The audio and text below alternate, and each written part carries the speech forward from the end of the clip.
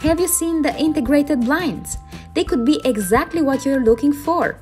They are specially designed for using double glazed units. They are manually operated, being raised and lowered by moving the slider up or down. They can also be tilted by lifting or lowering the same slider. They cannot be physically touched, therefore, they cannot become damaged, which makes them safe free from children or pets. Are you wondering which are the benefits? Dust free, hygienic and maintenance free, save costs for your energy bills, and maintain privacy while allowing light in. What are you waiting for? Order now!